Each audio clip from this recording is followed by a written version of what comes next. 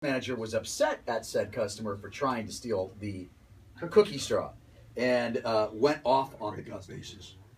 These are moms now. It's nothing. Uh, Nothing sexual. Yeah, it's really nothing sexual, although it does have to do with the body. Does have body. Wow, teenage sons. What do boys do with their bodies? I only know one thing boys do with their bodies. Pick their zits.